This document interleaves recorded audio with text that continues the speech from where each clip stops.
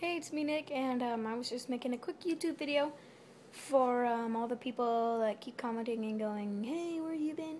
So, today, I just got a new iPhone, and that's what I'm recording with. Um, what else was I been up to?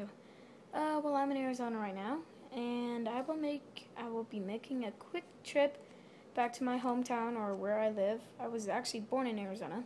But I'll make a quick trip back to a, uh, Las Vegas for probably about a week, and then I will come back to Arizona, and then I will go home to Vegas in August.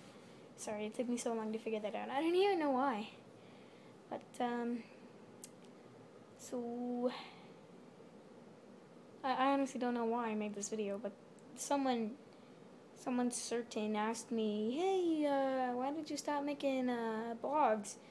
So, um, I can't promise you that I'll be making videos about every day or every week, but I can't promise you I'll make a video every here or there, but um, when I get the chance, I'll just uh, shoot up a quick video.